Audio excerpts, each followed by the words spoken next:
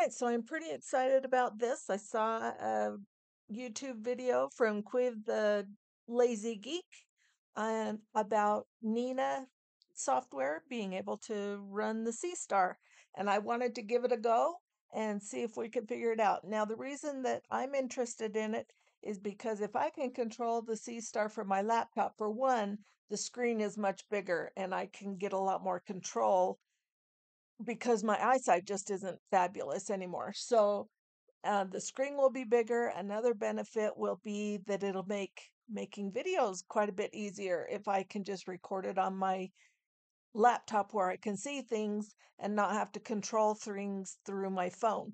And so this is um, I'm gonna give it a go and see if I can make it work. And so I have gone to all I did is I go up into the Google search and I search for Nina software and then it comes up here and it gives me this nighttime imaging, which is Nina.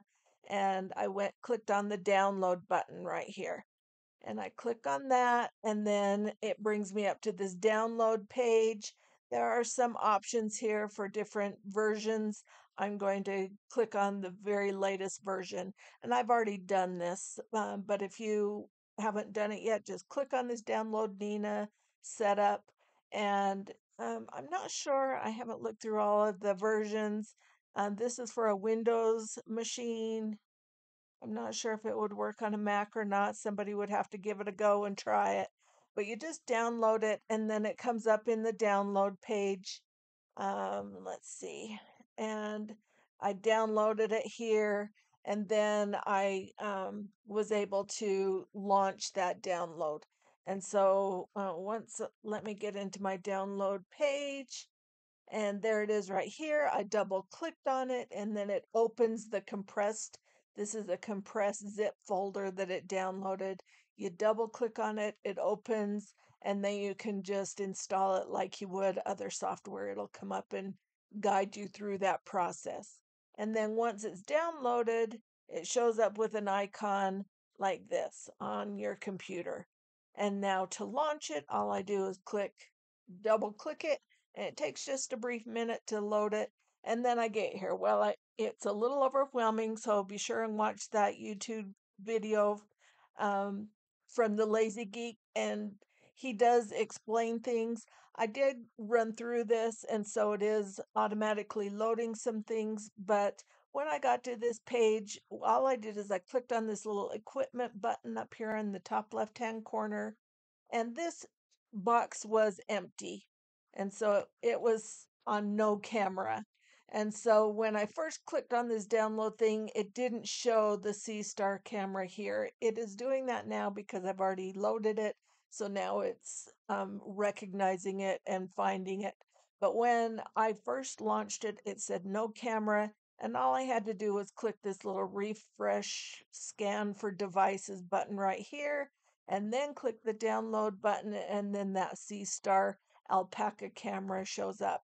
And then I click on that, and that puts it right here. And then you click this button over here. It looks like a power button, but that's a connect button. So just click that, and then it comes up with a, a notification down here that it is connected and then it populates some things here. Now, for now, I'm just going to leave all those the defaults until I learn what they all mean. But um, you do have to go in and do some other things so that it can connect. And so you have to tell it the filter wheel, and you have to do that same thing. It comes up and it defaulted to no filter wheel. Do the search for it, and then select the Seestar and then connect it. And see, I get another success. It's connected. And then do the same thing for the focuser. And you know, it's the same same thing. It's it comes up and it defaults to no filter, but because I previously did it before I recorded this video, it is recognizing it. So just click on that and then click the connect. And then it comes up and it gives you a little notification that it is connected. And then the next one that um, he had us do is the mount, and then connect that one to the Seestar Alpaca telescope mount. And let's go ahead and connect that one. And it just takes a second for it to connect. and then it populates all of the information there and it says success. Now I'm just going to close all of these little notifications. Now what's on the screen is what I want. This is how I'm going to control the Seestar. But what I want to do, um, let's see.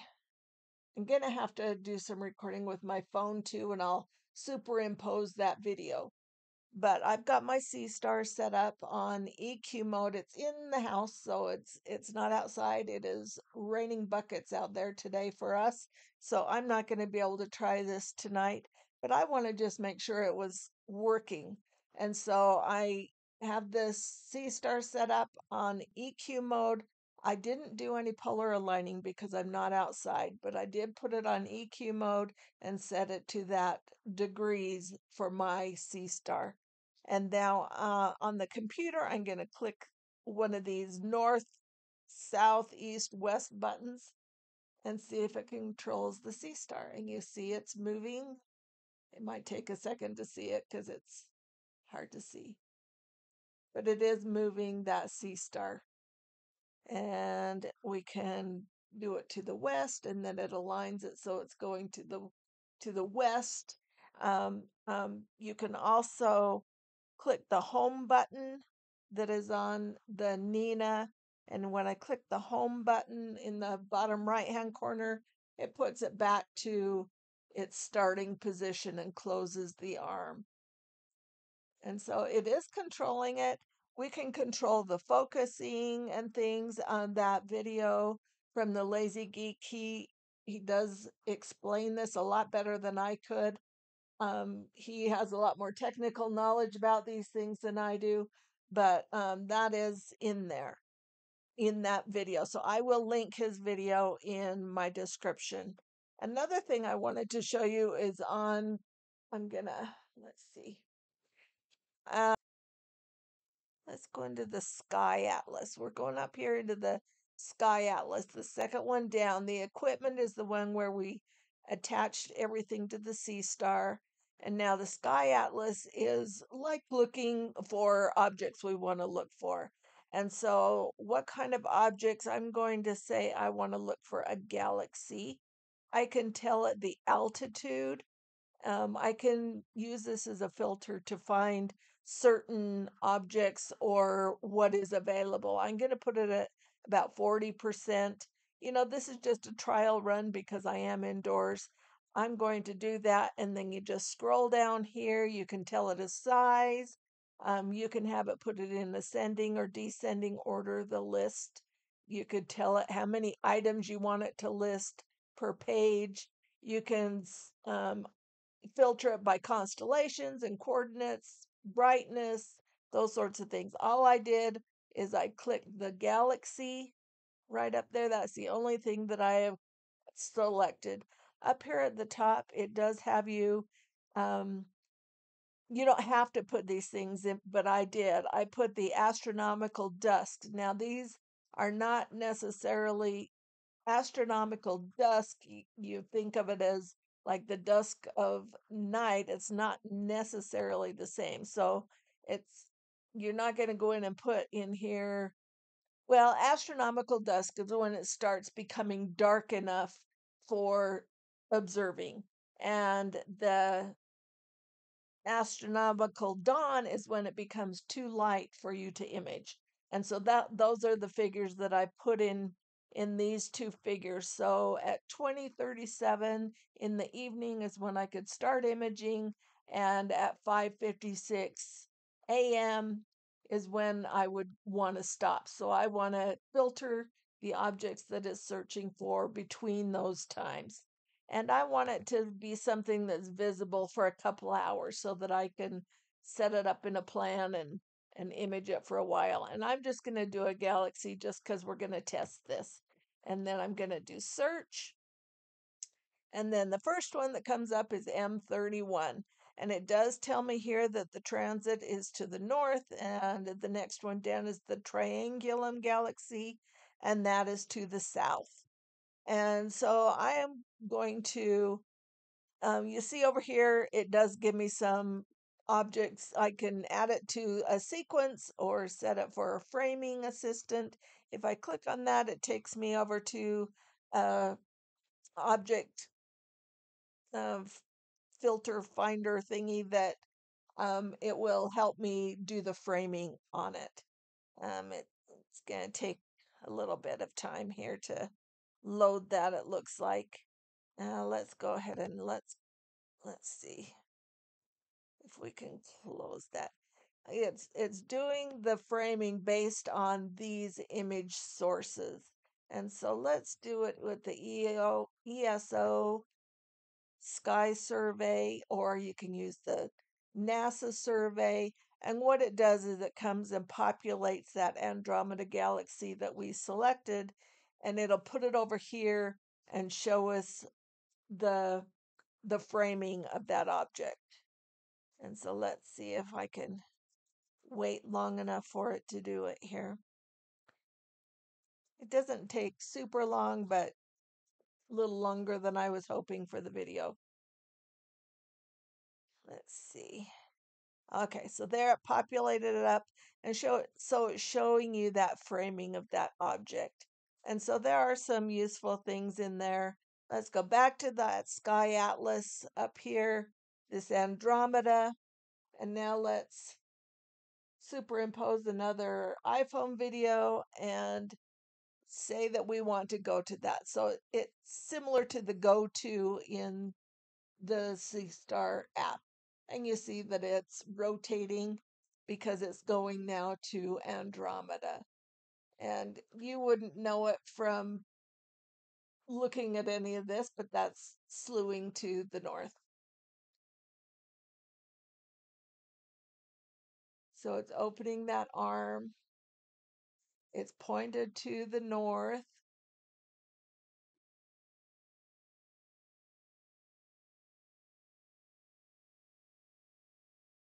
And it rotates around just like it does when you're using the go to in the Seestar app.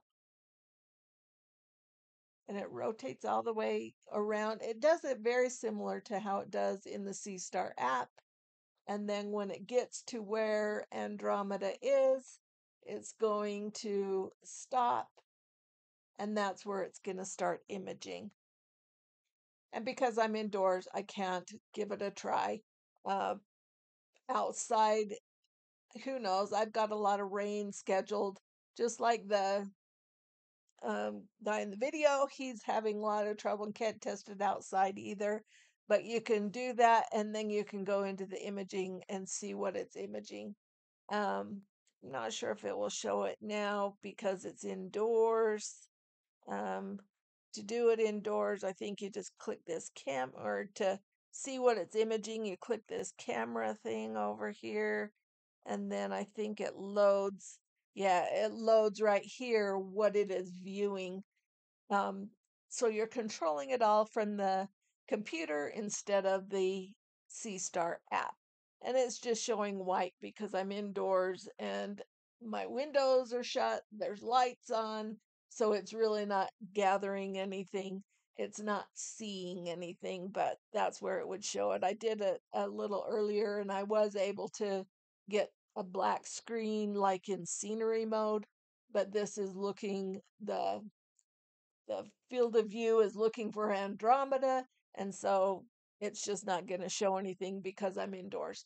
But that's what we're going to give it a go when the weather gets better and see if we can try it. So there's a lot of advantages. Um, it looks like uh, we can control the filters that it's using. We can change the focus and have it do focusing. It, it sounds like we can do those in between, like if we set up a, a plan or we can change that or have it do auto focusing, and that would be very helpful. And so I'm excited to give this a try, but that's how you do it. So you, the first step, you're going to go up into, once you've downloaded Nina, you're going to go into equipment and then load the C Seestar into the camera option, the filter wheel option, the focuser, and the mount. Those are the ones that, I, and I'm just copying what he did in his his video to show you those and how to load those in there. Once you do, then you can go into the Sky Atlas, locate the object you want to go to, and and they use the word slew instead of go to. Um, and it looks like you can add target to a sequence so that you can do the a plan uh, similar to what's in the Seestar app and you can have it do some of the focusing and things in between, from what I understand. But that's how you do it. That's how you locate an object and how you get the telescope to respond to the computer screen instead of just your app. And so there might be some advantages to using this. We can change some of the settings, um, the framing, all of those sorts of things. Things we're going to have to play around with. It just makes um, us have a little bit more control over the Seestar app. app. Um, the limitations in the app are maybe uh, fixed with controlling it this route. And there is a lot more things to learn. You would have to um, probably get a little bit of knowledge about the um, jargon that is used. Um, they it will do the plate solving. It can do the drizzle, those sorts of things. Things that are maybe a little bit more advanced, but just doing this small, simple thing, we can probably image some objects. And controlling it with the computer is a lot more convenient for, especially if your eyesight's not great. The iPhone screens are pretty small. I have gotten a tablet so that the screen is bigger, but you know, there are some limitations with that. And so I'm looking forward to trying this, trying a plan so that we can autofocus in between the objects in the plan. That's another advantage I'm I'm looking forward to trying. But um, thought you would enjoy seeing how to find an object using Nina. Uh, we're hoping everybody else is having better luck and clearer skies than we're having. Uh, but thanks for watching.